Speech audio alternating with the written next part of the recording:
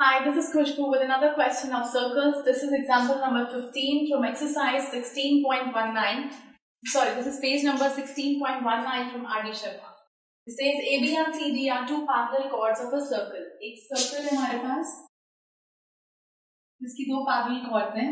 This is AB and this is CD. R where whose diameter is AC and AC is the diameter. So हमें इसको यहाँ पे करना पड़ेगा and this is D. So AC is the diameter. Suppose this is the center. हम construction कर लेते हैं यहाँ से Suppose this is OL और यहाँ से suppose this is OM. Perpendiculars draw कर रहे हैं इसमें. So हमें given है कि AB is parallel to CD and AC is the diameter construction कि एल परपेंडिकुलर है बी के ओ एम परपेंडिकुलर है डी के prove A B is equal to C D proof in triangle हम ये दो ट्राइंगल्स को कंपेयर करेंगे, ये वाला और ये वाला. So in triangle A O L and triangle C O M में हमारे पास है। कि ये वाला एंगल इसके इक्वल होगा, दोनों 90 डिग्री है।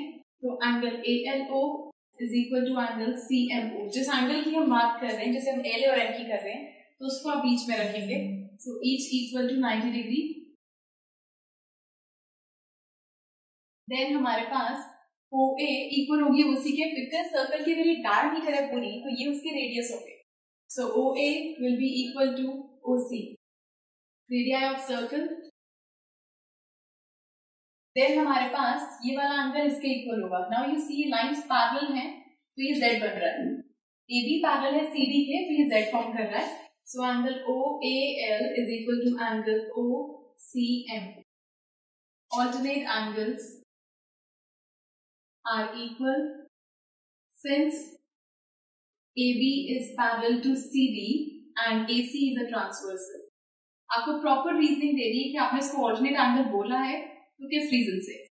सो ये तीन चीज़ें आ गई. Therefore triangle AOL is congruent to triangle triangle COM हमने इसका रूल यूज़ करा है. एक एंगल लिया, फिर एक एंगल लिया, फिर एक side angle angle side so by angle angle side criteria so अगर ट्राइंगल्स कॉन्ग्रुएंट है so we can say CPCT से कि ए एल इक्वल है एमसी के L equals to MC by CPCT अगर ये इक्वल है तो इनके डबल भी इक्वल होंगे so twice of L will be equal to twice of M इसका डबल है बी इसका डबल है डी इसका बी और इसका डी अब इसका डबल ही हमने इसको क्यों माना? बिकॉज़ सर्कल के सेंटर से अगर वो पेंडिकुलर ड्रॉ करते हैं तो वो कॉर्ड को बाइसेक्ट करता है. अगर वो बाइसेक्ट कर रहा था, इसका मतलब ये आधा है इसके इक्वल तो डबल होकर पूरा आ जाएगा.